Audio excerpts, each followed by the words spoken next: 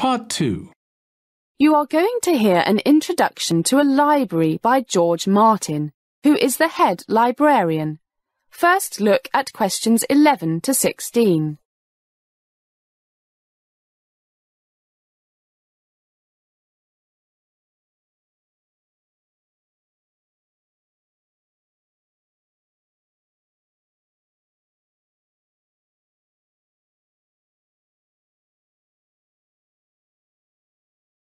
As you listen to the first part of the talk, answer questions 11 to 16. Good morning, and welcome to the main library of the University of British Columbia. My name is George Martin, and I'm the head librarian. And happy to give you a brief introduction to our library. I guess I'm qualified. I've been working here since 1961, back in the days when the only electrical or electronic stuff here was the lights. Oh, and the phones, of course. Mechanical typewriters and slide rules then. No fancy laptops and cell phones. Computers? In a library? No way. Everything was on paper. If you needed to find something, you went to the card index. And if that didn't help, you asked one of the staff. And if that didn't work, you told your professor that you couldn't write the essay because the library didn't have the book you needed.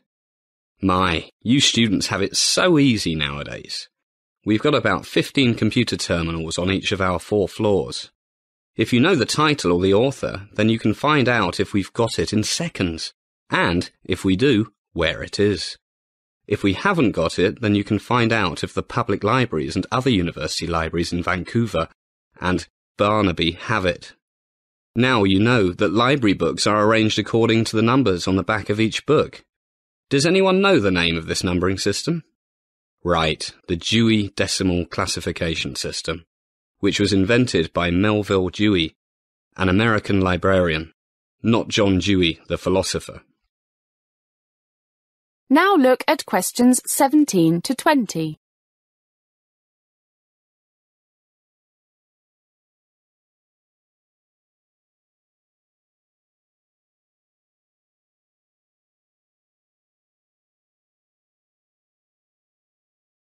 As the talk continues, answer questions 17 to 20.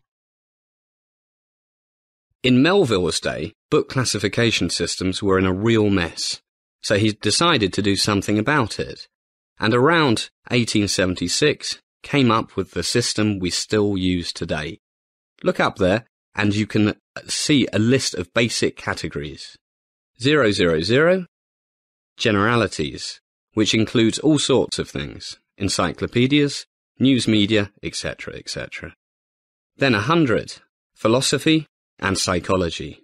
200, religion. 300, social sciences. And so on up to 900, geography and history.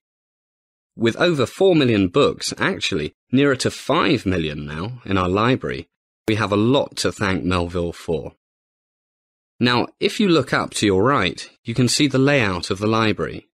It's very logical. We start down here on the first floor, or the ground floor for our British cousins, with three zeros, generalities, and so on up to the fourth floor with all the 800s and 900s.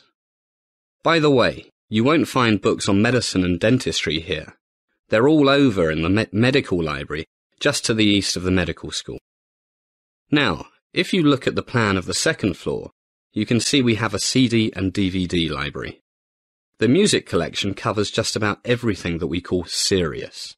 From Bach and Beethoven, folk music, blues, early rock and roll, jazz, and more. But sorry, no punk, heavy metal, rap, or hip hop yet. For Oriental music like Peking opera, you'll have to go to the Asian Studies Centre or Chinatown. A word about taking books out. The usual lending period is two weeks, but a few books in great demand can only be taken out for two days.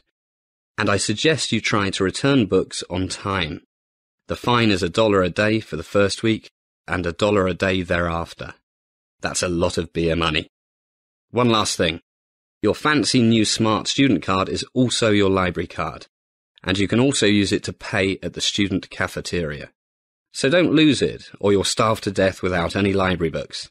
Okay, I guess that's enough here. Let's move up to the second floor.